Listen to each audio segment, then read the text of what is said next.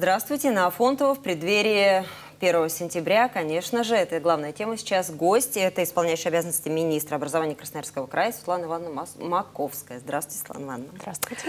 Знаете, ну давайте как-то начнем с какой-то э, школьной, с каких-то школьных цифр сразу, да, сколько школ готовы принять, сколько первоклашек идут, сколько школьников. Вот это всегда интересно, потому что это какие-то такие показательные, очень воодушевляющие цифры, как правило. А в этом году у нас откроется 1105 школ, в, которых, в которые придет э, почти 340 тысяч учащихся. Должна заметить, что в этом году учащихся, как и в прошлом году, придет несколько больше. Э, мы испытываем приток э, детей школьного возраста в течение уже пяти лет. И в этом году будет почти на 10 тысяч учащихся в школах больше, чем в прошлом году. Э, первоклассников будет чуть более 38 тысяч. Э, первоклассников приходит сейчас примерно одинаковое количество, что и в прошлом году.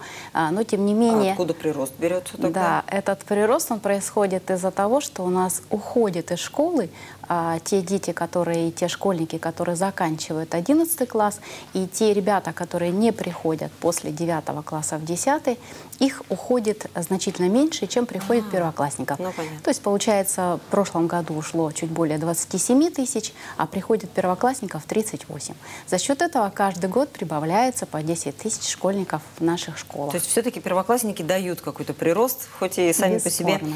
Да, совсем недавно, конечно же, красноярские статистики подсчитали, сколько будет стоить э, собрать школьников в школу, э, мальчика, девочку. И, но, тем не менее, есть такие статьи расходов, да, которые все-таки за счет учебного заведения. Да, это учебники, это какие-то книги. Насколько здесь у нас всего комплект? Не приходится ли что-то покупать родителям? Э, учебники мы ежегодно покупаем за счет средств краевого бюджета. Это направляется достаточно значительная сумма средств на приобретение учебников. В этом году учебников приобретено на 514 миллионов рублей. Э, поэтому все школьники края обеспечены бесплатным комплектом учебников, которые используют в учебном процессе. Это то, что касается учебников. Э, при этом подход у нас в течение этих двух лет уже осуществляется следующий. Мы покупаем покупаем не только бумажные учебники, их, кстати, мы купили более чем полтора миллиона экземпляров, но приобретаются и учебники в электронном виде. Но при этом соблюдается баланс своеобразный, потому что, на наш взгляд, электронные учебники, конечно, не нужны. Их нужно вводить в образовательное пространство, если мы тем более говорим о цифровой образовательной среде. Но, тем не менее, считаем, что учебник, который в бумажном э, виде, это самый основной учебник, который обязательно должен быть у каждого школьника. А, у меня ребенок дошкольного возраста, а в школе я была, соответственно, когда еще сама училась, поэтому а электронные учебники это что у нас, что э, школьники сейчас с гаджетами уже ходят прямо а, на уроки? Да, есть, есть такой И вид много? учебника. А, если сравнить эту цифру, например, я сказала, что полторы тысячи экземпляров в бумажном варианте, то около 30 тысяч экземпляров, так скажем это, это в электронном виде. Фактически это учебник, а, который переложен в электронный вид. Э, конечно, может быть, он еще не совсем, на наш взгляд, совершенен с точки зрения электронной образовательной среды, потому что он пока не позволяет. Это просто электронная книга, так. Можно так сказать. Но ее можно разместить э, как на компьютере, э, так и э, на наших современных гаджетах. То есть дети могут заниматься, в принципе, с электронных книг, они могут заниматься дома с компьютеров? Да, это да. Все... А, ну, это же прогресс. Так, а вот то, что родители задают вопрос все время, потому что самим приходится докупать рабочие тетради. И они недешевы, и их нужно несколько. А если учеников в семье двое, так и вовсе. Рабочие тетради совсем не приобретаются? А, рабочая тетрадь а, – это, так скажем, дополнительный материал а, к основному учебнику, который используется во время образовательного процесса. А, при этом а, школа а, на педагогическом совете должна определить, по какой образовательной программе будет работать в течение всего учебного года и определить, есть ли необходимость в таких рабочих тетрадях. И если школа на педагогическом совете определяет, что обязательно должна быть такая рабочая тетрадь, то тогда школа и должна закупить эти рабочие тетради. Это первый вариант. Это Э, ново. Если, э, если школа а, решает, что достаточно учебника, она может работать только по учебнику. То есть такого обязательного, так скажем, прямо стопроцентного использования рабочих тетрадей, это определяется педагогическим советом. Но с другой стороны, если, а, значит, тем не менее, учитель принимает такое решение, то можно использовать следующий вариант. Иногда педагоги используют вариант, когда приобретают несколько рабочих тетрадей, их потом э, размножают да, и используют в работе. Но еще раз повторяю, что это должна определить школа, исходя из своего педагогического совета. В принципе, а, средства, которые направляются, а, некоторые школы, которые определяют, что они будут работать еще с рабочими тетрадью, у них достаточно и средств и на рабочие тетради. Но э, понятно, что 100% всех 340 тысяч учащихся обеспечить рабочими тетрадями, которые являются разовым инструментом, такой возможности у нас пока нет. То есть все-таки помощь родителей здесь нужна. Ну, хорошо. Да. А, в крае увеличился срок обучения вот в техникумах и колледжах. С чем это связано? И является вот среднее э, образование сейчас востребованным для ребят? Или все-таки все также стремятся в вузы и получить высшее образование? А, В 2013 году а, был изменен закон об образовании Российской Федерации, э, который исключил уровень образования начальное профессиональное образование. И сейчас все студенты, абитуриенты, поступающие в учреждения среднего профессионального образования, они в обязательном порядке получают среднее образование. И, соответственно, действительно изменился срок обучения. А, Срок обучения в среднем профессиональном образовании стал не три года, а четыре года. Это связано с двумя позициями, как я уже сказала. Это получение целом среднего полного общего образования. И вторая позиция, она связана с тем, что сейчас обязательно те студенты, которые обучаются в среднем профессиональном образовании, получают другую, вторую профессию, вторую компетенцию, вторую специальность. Поэтому из-за этого увеличился э, срок э, вместо трех лет. э, Сейчас студенты обучаются 4 года. А спрос? А, Действительно, последние годы серьезно изменяется набор в учреждении среднего профессионального образования. И у нас каждый год увеличивается количество абитуриентов, э, претендующих на поступление в учреждение среднего профессионального образования. Это объясняется несколькими причинами. Первая причина – это, конечно, бесспорно повышение качества самого профессионального образования, среднего профессионального образования. Это участие края э, в международных, в международном движении WorldSkills, э, General Skills и победа наших студентов в, таким, в таких движениях. Да, да. А это не просто уже само, э, сами соревнования, это как итог. А понятно, что при подготовке к этим соревнованиям происходит подготовка, профессиональная подготовка уже по другим стандартам. И есть объективная причина, она вызвана, опять же, первой темой, что у нас увеличивается количество школьников.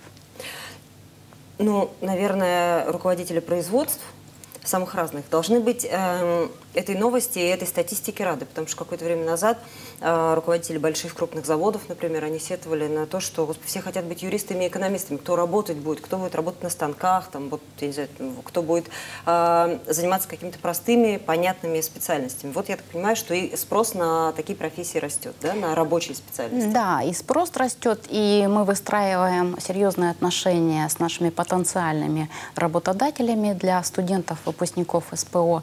Э, Есть такое направление, есть такой проект, который реализуется, мы его называем «Дуальное образование», э, когда образовательная подготовка проходит на базе учреждения среднего профессионального образования, а практическая вся часть э, образовательной программы реализуется уже непосредственно на предприятии, с которым выстраиваются договорные отношения и где будущий выпускник, студент СПО будет работать. Ну, это хорошо, еще выпускаешься, и у тебя уже работа. А, сколько вы еще рассказали школ в Красноярском крае откроют свои двери? Тысячу? 1105 школ. 1105. Новые школы. И уже тогда захватим и детские сады. А, В Красноярске в этом году открываются. И в ближайшие годы какие еще планы на именно новые учреждения и дошкольного, и школьного образования?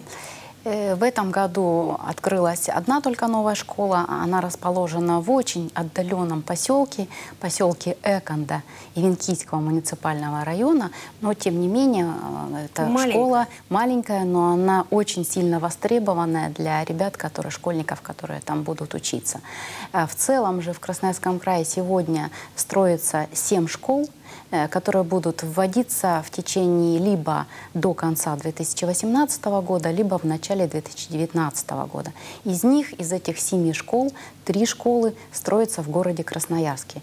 Это очень крупные школы, э, по 1280 мест э, в самых сложных микрорайонах города Красноярска. Это микрорайон Покровский, где у нас самая крупная школа, 153 там строится еще одна школа. Это микрорайон Солнечный, где тоже очень сильно э, развивается э, строение, в которых и развивается микрорайон. И это микрорайон Преображенский. Помимо этого строится школа в городе Канске, э, в, Петропав... в деревне Петропавловка Курагинского района, э, в... на Таймыре строится школа-интернат. То есть вот семь образовательных учреждений, которые будут сданы либо в конце 2018 года, либо в начале 2019 года. Я так понимаю, в Красноярске еще район вот, Пашины и Белые Росы очень бы ждали, что у них там школу построят. Э, планируется школа, а, ее начало планируется в 2019 году, а, со сдачи в 2020 году. Эта школа действительно в планах есть. Ну, это должно радовать тех родителей, у которых детям не, не предшкольного возраста, а им еще есть куда подождать. А, недавно была новость, что выпускники этого года смогут сдавать китайский язык в форме ЕГЭ. Много желающих? Прям очередь э, китайский сдавать? По Красноярскому краю пока таких желающих нет. Э, просто есть возможность, и мы должны предоставить такую возможность выпускникам.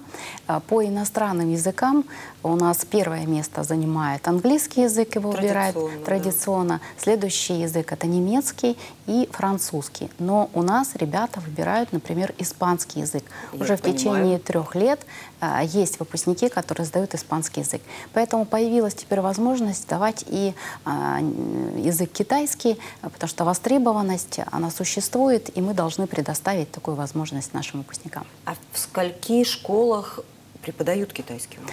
Э, чаще всего это ребята, если, например, говорить про испанский язык, э, то чаще всего это ребята, которые изучают самостоятельно его, а, либо дополнительно. дополнительно, да, но есть возможность сдавать, потому что э, такая необходимость есть в связи с тем, что ребята, следовательно, поступают в соответствующие вузы, где этот язык необходим. А китайский?